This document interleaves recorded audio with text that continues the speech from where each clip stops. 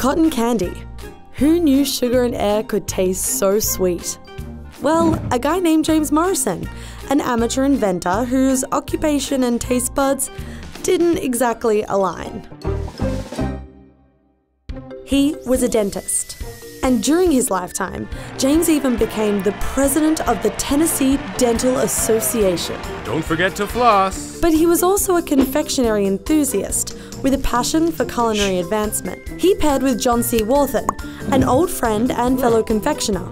Together, the two designed and co patented what they called the electronic candy machine.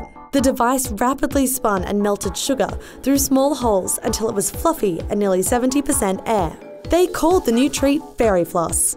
They introduced their product at the 1904 World's Fair, selling it in small wooden boxes for 25 cents each. Thank you. That's about $6 today. Fairy Floss was a huge success. In six months, they sold over 68,000 boxes, grossing in today's money around $440,000. Hmm. But despite the success of the sugar spun business, Morrison returned to his day job as a dentist. So next time the dentist tells you you're eating too many sugary treats, well, blame him.